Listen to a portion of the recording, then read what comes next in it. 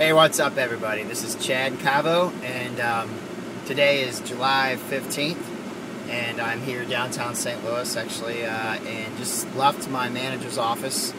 Um, fortunately, all the guys, uh, we couldn't do this together, just with uh, the kids and the families, but I just left uh, signing our second record deal um, in the band with uh, our label 11-7 Records.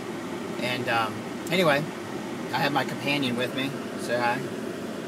So uh, my eight-year-old actually got to uh, watch me sign uh, sign the deal.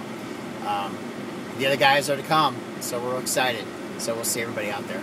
See ya.